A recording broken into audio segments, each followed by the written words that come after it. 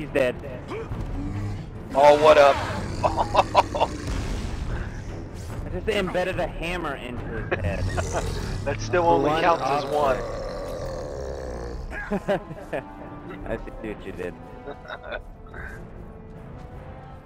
Just embedded a blunt object in his skull.